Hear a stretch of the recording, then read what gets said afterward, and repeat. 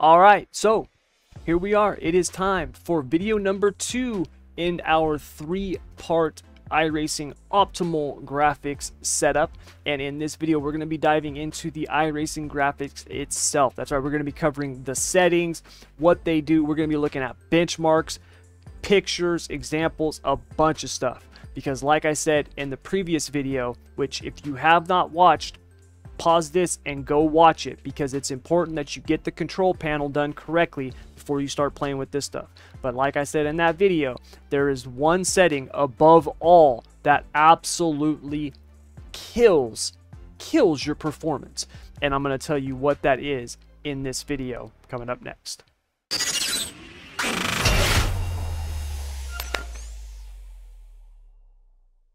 All right, you guys. So, like I said, we're going to be diving into all the iRacing graphic settings and things like that. And before I start showing all that stuff, um, just a couple of things. Number one, I spent probably in total 12 to 14 hours um, testing and benchmarking this. Okay. Now, the way that I did this, and I'm going to actually show you an example of it. The way that I did this was very, very simple, but also very controlled. And I did that for a reason. One of the things that can happen when you're benchmarking, especially when it comes to something like a sim racing game, it can be very difficult to replicate similar results. Meaning, if you're racing in a pack of cars, right, and you're going lap after lap after lap, where those cars are on the track, right? The distance from, you know, you to them and from each other and, uh, you know, all those different, you know, where those different spots that they are, what place you are on the track overall, what's outside of the track at that point, you know, all those things, the weather, all of those will have an effect on your graphics, specifically your FPS, and then also the FPS score, the benchmark score, if you are doing it. So, what I did was I did an AI race, okay? And I didn't even race in it. I just had the AI cars go out. I did this for the trucks and I did this for the Xfinity. Okay, now the reason why I did the asphalt and not the dirt was one, we don't have AI on dirt. So that's the big reason. But two, I have found for me on my system, if I can run on the asphalt, all right, if I can go to Daytona, which is the track that I use, with 32 other cars and my settings maxed out, and I still have got good FPS and good image quality, then I'm going to knock it out of the park on dirt. Okay, because the dirt track is way less than the asphalt, believe it or not. All right, especially when we start talking about the size of the crowd and the grandstands, and all the things like that. So that was why I picked asphalt. And so what I did was I ran an AI race. I took a one lap segment out of a replay, okay? I cut that out, I saved that replay, and then I picked one car in the middle of the pack, all right? And then what I did was is every single test, I was in that car at that starting point at the beginning of that lap. I started the lap, started the benchmark. We did one lap. As soon as we crossed the start finish line, I ended the benchmark and then would do it over again. And I would rerun the test multiple times, aggregate it together with that setting, and then I would do a comparison. Okay. And then when I did a comparison, the way that I did it was I based everything off of max settings. So everything was on and everything was on the highest level. And then if I wanted to see what happened with one setting off versus another, I would do it one at a time. So for example, when I was testing the heat haze, I would turn off heat haze, do the benchmark, and then if I wanted to test distortion, I would turn heat haze back on and then turn distortion off, run it again, okay? Because I wanted to keep it as controlled as possible.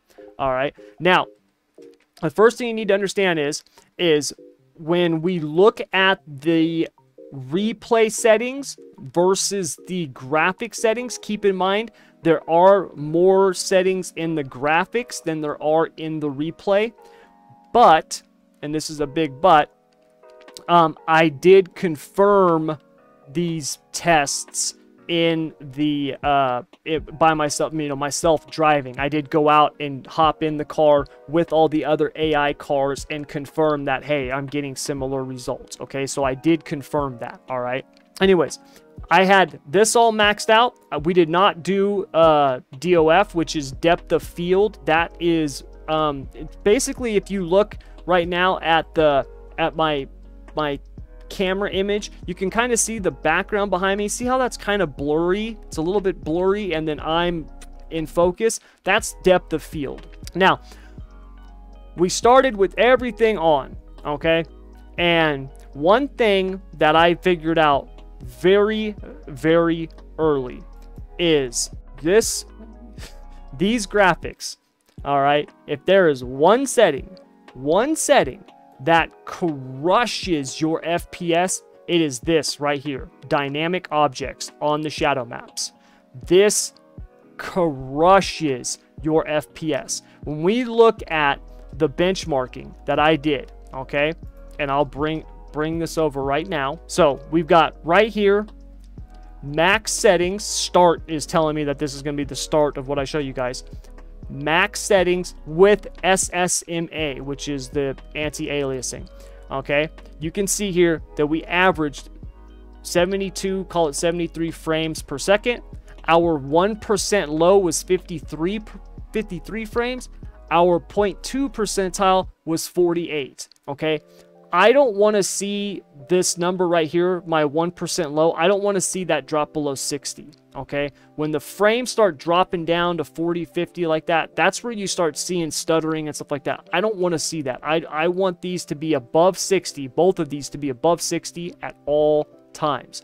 And when I first started testing this, I was like, what the hell is crushing my my FPS? I'm like, this is ridiculous. What is causing this? And sure enough, it was the dynamic shadows. When I turned off the dynamic shadows, just the dynamic shadows, we saw a huge increase. If we look at this, we saw a 36% increase in our um, FPS, our average frames per second. If we look at our 1% low, it's a 41% increase, and our 0.2 percentile is a 46% increase. That's huge.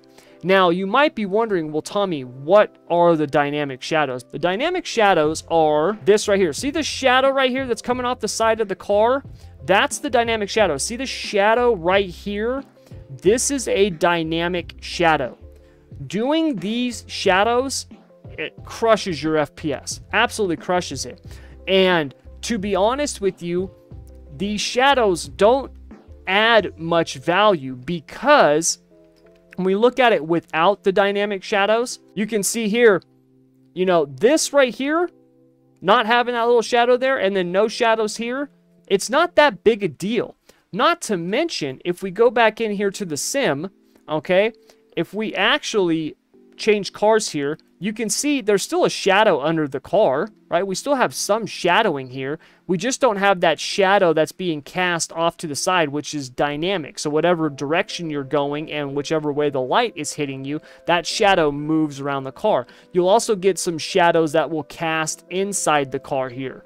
Um, from different angles. Now, I'm going to ask you, looking at this, do you, is there is there any loss of visual quality here? Like, is that not having that shat those shadows, is that going to just destroy your visual experience? No, not for me, right? And keep in mind, yes, I'm on triple monitors, but I've got an i9 10900K that's overclocked to like 5.1 uh, gigahertz, right? I've got like a 45% overclock on my system, and I've got an RTX 3080 that I've actually got overclocked. It's like, you know, plus 50 on the base and like plus 300 on the memory. All right. So these, I'm pushing these things hard, and they're high end components, and it was hitting my FPS that bad. Keep in mind, yes, we are in a pack at Daytona, right? With I've got everything else on, but even when I started taking other things and turning those off to try to keep the dynamic shadows, it wasn't worth it. It just still was not worth it. If you find that you are getting low um, FPS, all right, and you are playing with all these other settings and you can't quite figure out why, it's this right here dynamic objects. Uncheck that box and you will see a massive jump in your performance. Now, here's the thing. You might be wondering, well, Tommy, what if we turn those shadows off and we keep the dynamic. Well, here's the deal. That actually does nothing because when we did the what's called the self shadows, and that's this option right here, object self shadowing, all right? If we look at that, when I turned that off and put the dynamic shadows back on, once again, you can see, which is this right here, this middle one, we're still better, but we're only a few frames better, right? So we see a 5% increase in our average FPS, and then we see 7% increase in our 0.1% and 11% in our 0.2. Now keep in mind, our low is still better, which is good. Remember, that's where you see stuttering and stuff like that, but we're still below 60. All right. So even turning off the self-shadowing just to keep on the dynamic, to me, is not worth it. The dynamic shadow map just crushes the system. Now, before we start getting into all the other stuff and the other numbers, there's some things here I want to cover with you. Number one, anti-aliasing, all right? We talked about this before. You have FXAA or SMAA, all right? I use FXAA. Even though iRacing says that SMAA is better, it's actually not. And I'll show you guys an example of this. Right here, this is an example of SMAA, and anti-aliasing is supposed to fix these jagged lines. See how this got that sawtooth look going on? We've got that going on over here. This is a still image taken with SMAA on. If we look at the FXAA, see how much smoother that is? All right, you can see that this is far more jagged than this. The FXAA actually works better than the SMAA. Um, I tried this on multiple multiple pictures and spots, okay? FXAA just works better. For whatever reason, don't know why, but it seems to work better. It looks better and it has the same performance when we look at the benchmarks here. So these two right here, the top one is FX, the bottom is SM. You can see that they're basically the same on the average. The 1% is close. The bottom end is a little bit better. It's about 5% better, which is good. But overall, performance wise, it's basically the same thing. And visually, the FXAA looks better. So use FXAA, okay? Now, anisotropic filtering, even though we've got that turned on in the graphics driver, you want to turn that on here as well. All right, put it to 16x. Um, if you've got an older system, like I said, and you're or you're running you know some lower end components like a 1660 or you got an old GTX 970 or something like that, then you want to turn this down. The AA samples mode, you know, put this to four. Um, if you've got a higher end system, you can put it to eight. Okay.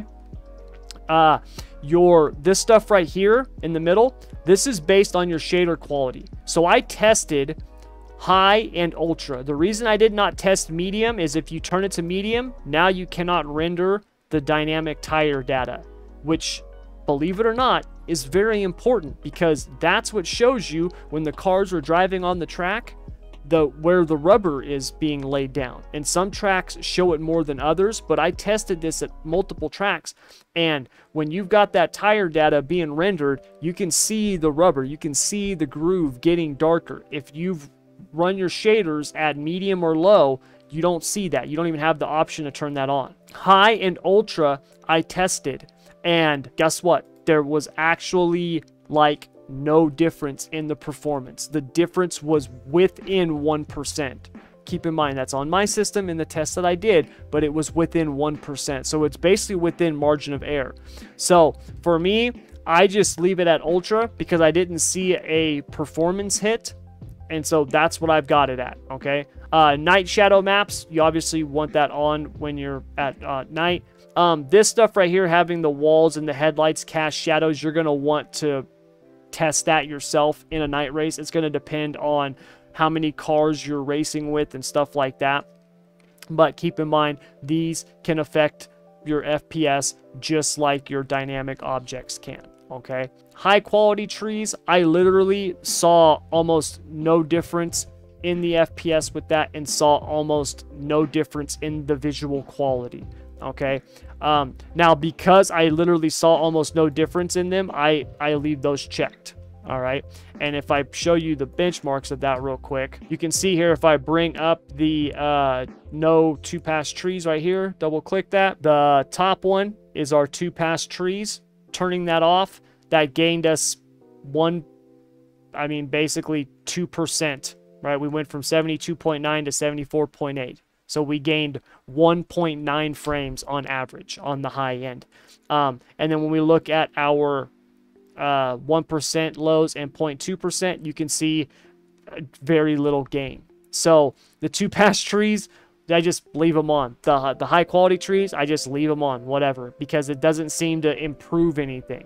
Now, yes, if you've got a lesser system and if you're racing at a track like Spa, for example, right, which is in the mountains, then you might want to turn that off. Okay, you might want to because you're you're not talking about this is Daytona. There's not a lot of trees, but at a track with trees everywhere, this might make a much bigger deal. And visually, there's not much of a difference because when you're racing, who's looking at the trees, right? Who's going, oh, wow, it's a beautiful redwood? Nobody, right? Nobody's doing that. So it's more of a background thing. So you want to play around with that. Some of these settings are going to be track dependent, race dependent, all right, when it comes to kind of the visual outskirts of stuff. But overall, from everything that I saw, you're talking about small incremental gains when it comes to things like that, okay? Now, the next group of settings is these ones down here, which is sharpening, HDR, which is high dynamic range rendering. Um, for me, I leave this off because I don't do gamma brightness and contrast. I actually use an NVIDIA filter for my screen. You might notice that my color and stuff like that looks a little bit different than what you typically see. That's because I use a filter, which I think works better than iRacing's HDR. So I don't do that. But if you don't have a filtering process, you can use HDR. And when I tested the HDR, uh, once again, you're talking about a, a one like one percent. It was basically nothing. Okay.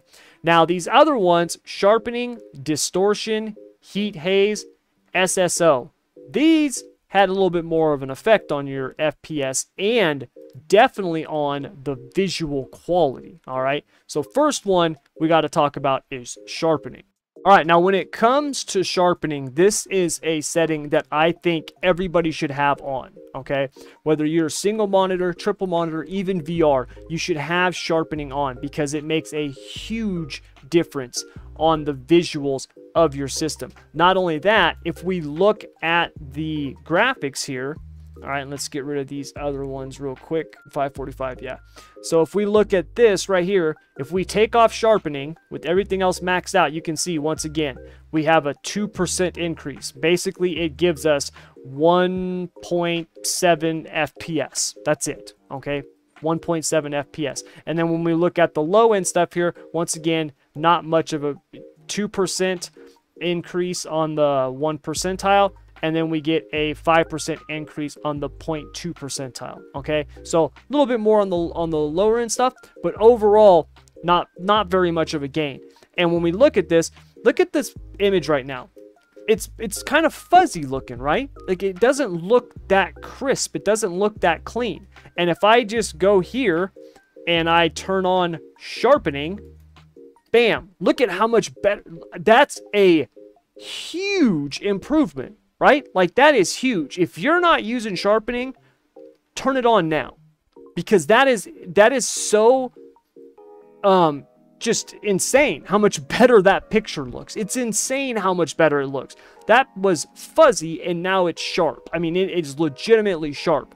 Turn on sharpening. You want to be using it. It makes the image quality look so much better. I had been using sharpening for so long. When I turned it off, I couldn't believe how bad it looked.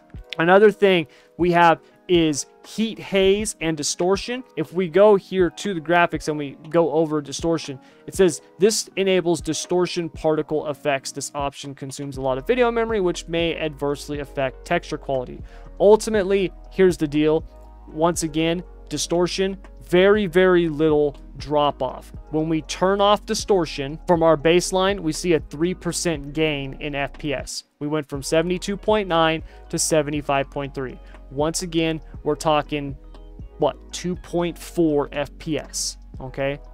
Now, like I said before, turning off these things those start to add up. Okay? So this is where you have to ask yourself, what's it worth to me? If you're on an older system and you're struggling to be above 60 FPS, turning a couple of these settings off can have a huge effect for you. It can be a massive benefit to you. And when we look at the heat haze, same thing, right? Heat haze gave us, this is the heat haze one right here, gave us a 2% increase on the average FPS, right? And then we see a 3% on the on the 1 percentile and a 4% on the 0.2. All right, now the um the show driver driver arms, steering wheel, that type of thing. Um I always have it on. I want to see the steering wheel and the driver's arms when I'm racing and on replay. Now, when you turn this off, this doesn't just get rid of that. It will also get rid of the driver. See how the driver is no longer in the mirror? You don't see the top of his head in the mirror, okay? So, um, this can, once again, gain you some FPS, okay? Um, without having to sacrifice image quality in other areas. But once again, like a lot of these other settings, if we get rid of the driver, it's a very small gain. 2% on the average FPS, you know, 2% on the on the 1 percentile, and then we almost got it's only 1 but 2% on the point 0.2 percentile uh, FPS. So not a big gain with the driver. Believe it or not, that doesn't actually seem to affect it that much. I was actually surprised by that. I thought it was going to be a bigger effect. It's not. So Another setting, like before, I said where it could add up to bigger gains, but individually, just a couple of frames. That's that's all. All right. Now, the last stuff that we got to cover here is all of this. Okay, the sky, the clouds, the cars, the pit objects, the grandstands, all of that, and you can have some pretty big gains with a lot of these settings. Okay, um, but one thing that you need to know is that it really it's going to be up to you to determine what you want as a visual experience. Like I said, if we look at this, if I turn off the grandstands, right? Like this is the front stretch. Where did everybody go? You know what I mean? Like if I turn that off, yes, that's going to give me a huge bump in FPS, but you know, in terms of what I'm seeing, I don't like it. I would much rather have the grandstands there okay? Now, turning it to low, as you can see here, the grandstands are still there. And when you drop it to low, that's getting rid of a lot of the other littler grandstands that you find at other places. So like the main grandstand is there, and then like the littler ones that you find in other places around the track, those are the ones that are usually not there, okay? And then it's also a little bit lower quality, all right? Um, dropping the grandstands to low, okay? Going from high to low got us 1 FPS. That was it. Now, it probably would have gotten us a lot more if we turned it off, but I didn't test it with it off. I wanted to see what happens when you go from high to low. And that's what I did with a lot of these. Like I told you, I'd already spent like 12, 13 hours doing all this. I didn't want to keep doing it more and more and more. Um, it gets us one FPS on low. I imagine with this gain, you know, one and a half percent gain on low at a track like Daytona with that huge grandstand, it'll probably give us about a three to five percent bump um, with that not there. Okay, I imagine that'll be pretty big because if you don't have the grandstand, you also don't have the crowd. Okay, so that makes a big deal. But going from high to low, not that big a deal. Um, the sky and clouds, this one was actually really surprising to me. Low sky, almost did nothing. I, it, not even a full frame. And on the low end, the 0.2 percentile, it gave us a big drop. Now, this is what was so shocking to me because I've seen this happen before with certain settings in iRacing where when I've got a bunch of stuff on high and then I turn other things to low, it's almost like it's it's doing this so much faster than this that it causes a problem. Like that's like I don't know if that's what it is, but it's just weird when I have a bunch of stuff on high and then I'll have like one or two things on low. It almost goes the opposite direction. It's like there's this big issue. If we look at the variances here, you can see that with the dynamic shadows, see this, this red right here? This is the frame time, the lag in the system, right? So you can see down here, we got a lot of lag where we're taking more than 12 milliseconds per frame. That's a lot on this system. You can see when I turn the sky to low, right there. We're getting a lot of lag. So for whatever reason, it was really causing a lot of lag in the scene. I don't know why that is because it was the same scene that I had ran a hundred times. So I don't know what the deal was. Um, and I ran it multiple times and it was the same result. So that was really weird. Um, I've just obviously I just leave the sky on high now. Um, you know, I don't I don't turn it low. Uh, pit objects. This is something that you can play around with low or medium. Uh, the pit objects, what you're going to see with this is, is if we actually, um, let's actually hop out of the car real quick and I'll show you. So when we look at the pits here, okay, pit objects, you can see that down there. If I turn the pit objects from high to medium, right, not a whole lot changes, okay? Not a whole lot changes. Now, when we go from medium to low, see where everybody's gone. We're missing people, right? Like the people are gone, right? Our pit crew's not there. The pit crew has disappeared, okay? Now, one thing to note, and you guys don't see this, but one thing to note is if I can turn my camera here, these right here populate when we look at them. When we were facing over here, when I was, whoops, which one was that? There we go. When I'm looking over here, those are not there. You guys can't see it, but they're gone. So that's what happens when you go to medium and low. What'll happen is, is those pit boxes will populate as you're going down the track. It'll be like they're magically appearing. So it's instead of it being rendered all the time, it's being rendered as you get closer. Okay. So what I found on the pit objects is basically run it on high or like turn it off okay? Because on medium it was just messing me up. Now once again that's my own personal thing but that's how it felt to me. Watching those things pop up on the track was just like something blinking out of the corner of my eye. It kind of just drove me nuts. I didn't really like it okay? So that's that's my opinion on that. And when we look at the the results once again low pit objects you can see not much of an improvement right? 1.4 fps not that big a deal okay now, objects, this is for stuff around the track, okay? So, for example, if I turn this to low, you'll notice a bunch of stuff just disappeared, all right? A bunch of stuff. Notice how, look at all the stuff that we've got missing in the pits right now. Whoops. Okay? Look at what's down here. When I turn that back on, pay attention to what pops up high. Boom. Look at all those lights, the garbage cans, these light poles back here. Um, you guys probably can't see it, but if we go to, if we go back to the cockpit, see these light posts right here? These light posts here? When we turn those objects off, that's what's going to, or turn it to low, that's what disappears, is that type of stuff. It's all the trackside things, okay? Now, with objects, like everything else, we saw just a couple of FPS improvement, 3%, okay?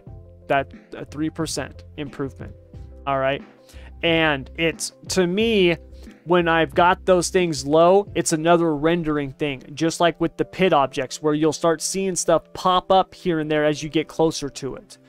I hate that. That drives me nuts. I would rather either have it or not have or don't have it at all. So Low is not something that I would use for objects. I would either have it on high or turn it off. Okay, that's just my opinion on that. All right. Particles. So this is stuff coming at you.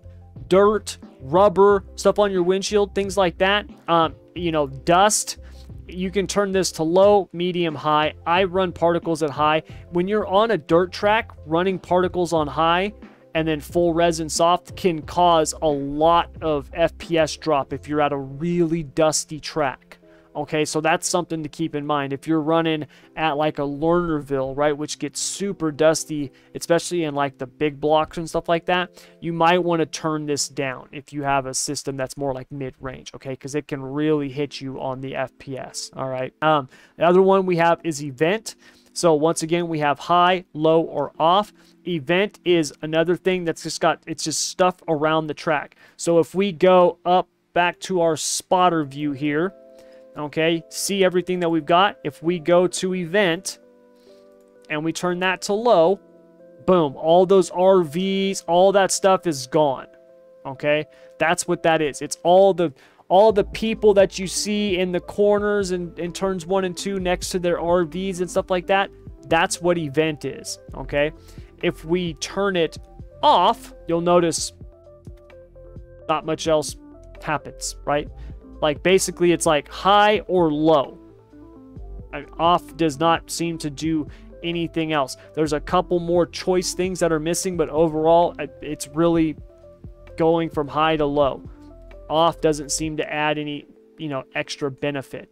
And once again, when we look at our our uh, numbers here, get rid of that. It's this one right here. We see another one to 2% increase. That's it. That's all we saw going from high to low. Remember, I did each of these settings individual. So after I would test event low, I would turn event to high, and then I would test crowd low. Okay, so that I tested them each individual. I wanted to see what they did when the system was maxed out on everything else. What does that one thing do when you turn it down? right? If you go and you start dialing a bunch of different things down and fine tuning everything, you're going to see bigger gains, all right? But I wanted to see how everything did individually, okay? So that's the event. The last one that we've got, um, well, I shouldn't say it's the last one. We've got one more. The last one before an important one. Cars is really important. We'll cover that in just a sec. Is the crowds. Now, the crowds, we have low, medium, and high. Now, you can see here, Whoops, not off. I want to keep it on high. You can see here, if I change the camera view here real quick, you can see the backs of the crowd right there. Go to replay. Replay, we go crowds low. Well, what happened? What's the difference? Well, here's the difference. The difference is, is when they're on high, these are actually being rendered three, it's a three-dimensional figure, okay? When you turn it down to low, what's happening is now you're only seeing it's only one side of the person whatever side you're looking at is what is what that that is okay there's nothing else that's being um, done it's not a three-dimensional image it is a two-dimensional image that looks three-dimensional, right? The, that they do with shadowing and stuff like that. Okay, that's what it is. Uh, expert, you can see right here, the setting controls detailed off will display no crowds, low will display crowds in stands and around the track, but only their fronts will render. Medium will display the crowds with both their fronts and backs. High will add 3D characters around the track. Uh, I, to me, I, I don't need 3D characters. I'm only seeing their fronts when I drive by, right? When I'm racing. Even when we're looking at it like this, this looks good enough for me. I don't need to have a three D because they're not moving. If they were moving, having a three-dimensional character would matter. But they're not moving. They're just standing there, right? So I only need to see the front. That's all I need to see. And the benefit for that was, uh, let me get the right one here. Okay, so get rid of that one. So it's this one here. The benefit from high to low, you can see once again, 2%. That's what it was, 2%. Now, for me, this is one of those that I just turned to low because like I said, even though it's only a 2% gain, I'll take it because I don't need a three-dimensional character there. I don't. So I turned that to low just because I don't I don't need it on uh, a three-dimensional character. Now the last one that we've got here is the cars, and this one actually gives us some significant changes. And when we get into the car detail, one thing I noticed here is if we, we're on high right now, if we go to low, don't see a whole lot of difference, right? There's a little bit of a difference that you can notice, right? It's very subtle. All right, we go back to high here real quick. All right, it's very subtle. It has to do a little bit with the sharpness, okay? Especially when we look at, when we start talking about cars at a distance. But overall, there's not that big of a difference. Where you see the difference is with the cars that become further away from you in front or behind. iRacing will just stop rendering. Just like we saw with the pit objects, where the stuff will start popping up as you're coming down the track. It'll start rendering and popping up. The same thing will happen with the cars. This happened in a race that I did like a week ago where the leader was only uh, like he was like four seconds ahead of me, but I couldn't see him. I'm like, where is this guy? And then all of a sudden he just boom, just appeared out of thin air. Well, I had finally gotten close enough to him to where iRacing was like, okay, we can start rendering this car now.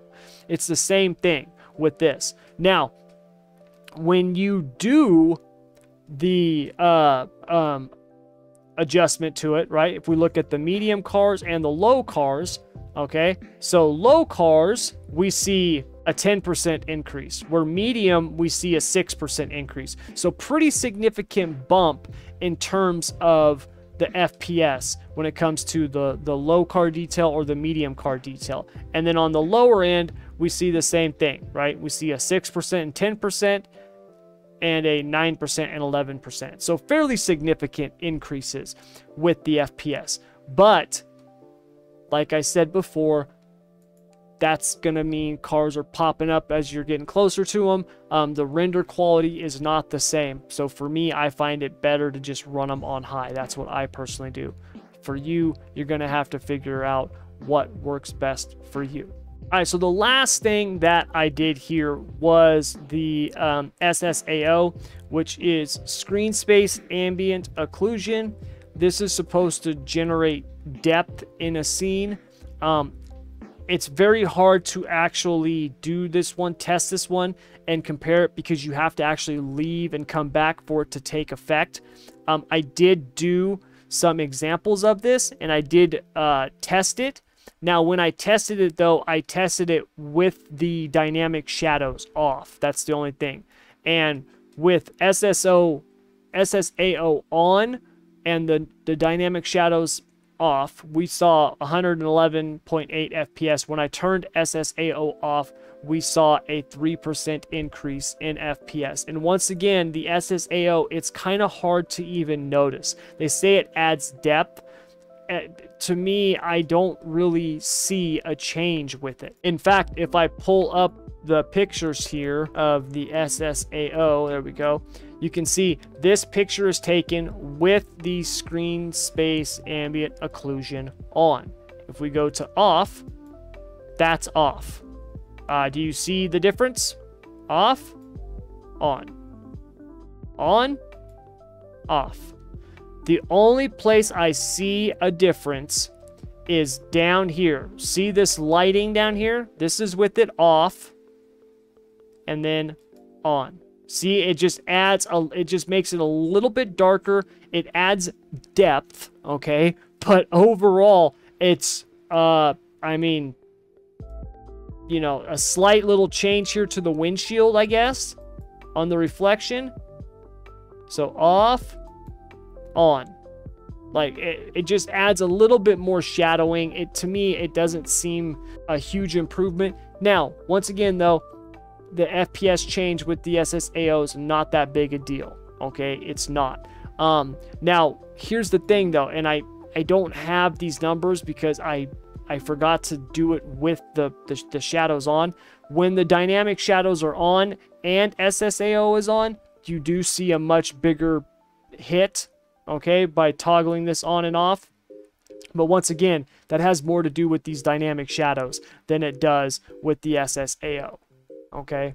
So this setting overall, I don't think you're going to notice it too much, whether it's on or off. All right, you guys, so that's going to do it all for this video. I know this was a really, really long one, but I wanted to get this out to you because like I said, I've had a lot of people asking me about this and I wanted to make sure that the information I was giving you was accurate. And so I went out, tested all of that stuff and, you know, wanted to show you everything, walk through and show you everything and um, you know I'm happy with with the way it's turned out with the with the information that I discovered. Um, you know, in terms of the facts, because like I said, uh, there's a lot of those settings where it's very, very incremental in terms of increases in FPS and visual quality or vice versa. Um, but that one thing, man, those dynamic shadows are killers, absolutely killers. And keep in mind, like I said, that's on triple monitors at Daytona running in a pack of 32 cars, okay? and in the middle of the day, right? So sun beating down, shadows, dynamic shadows all over. That's one of the reasons it hits so hard. And in the vast majority of situations, you can run those dynamic shadows and it's not going to crush your system. I just put it through the toughest spot that I possibly could. And I did that on purpose, like I said before, because I really wanted to test it. So if you need to increase your frames, look at those dynamic shadows that get those things turned off and you should see a pretty big bump. And then everything else is really eye candy. Leave sharpening on do not get rid of sharpening. Leave that on because that makes the picture look so much better at all times. And then, you know, things like heat haze or distortion, SSAO, uh, pit objects, those types of things is really just a matter of how much more do you want to increase your FPS. If you're somebody that just is really straining and you need those that FPS, start cutting back on some of those things. Get that better that best that better latency, you know, a more smooth image, a more smooth experience because that does matter. And then, you know, when the day comes that you can upgrade, then you can upgrade, crank the settings up. But let's get it smooth, get that thing to where it's not stuttering and, and jumping around and stuff like that. All right, and hopefully going through all this stuff will help you with that. I really hope this helps. So, you guys, that's going to do it. Thank you very much as always for joining me. Now, before I go really quick, if you like this, hit that like button, please. Let me know if you like this. Like I said, I put a ton of time into this, a lot of effort. So if you like it, please let me know. That would really mean a lot. Um, also, if you have not subscribed already, subscribe and then share this. Share this with other members of the iRacing sim racing community. All right, people um, you know, there's a lot of people out there with systems that struggle to figure out what they should be doing with their settings. Okay. Um, I get, like I said, I get asked all the time about this stuff. So share this, get this out to people so they can see how to get their systems optimized because it makes a big difference when you are driving on a system and it's 20, you know, that 25 FPS and you could have it up to 60 or 70, that makes a big difference. It really does. When your system's stuttering and skipping and tearing and everything like that, having a smooth playback is is very very important. So get this out to people so we can help as many as possible and hopefully improve their experience. Uh, you know, I mean, that's that's what we're doing this for. All right. And if you want to learn any more about School of Sim Racing, um, you know, the upcoming uh, Brandon Gaming PCs, all of those links are down in the description below. You can check all that stuff out as well. So, you guys, this is video number two of the three-parter. The next video, part three, will be very, very quick. I'm just going to show you how I do my filter process for that screen that I showed you. I'm also show you how to do the HDR, the high dynamic uh, rendering, so you can adjust your gamma and brightness if you want to do that. So that video should be only a few minutes, where this one was like a freaking hour, unfortunately. So, um, but that one will be really, really quick and easy, and we'll knock that one out of the park, and that'll do it for this, you know, ultimate guide to iRacing graphics, I guess we'll call it. But anyways, thank you very much once again. And until next time, I want to wish you good luck, good racing. Take care.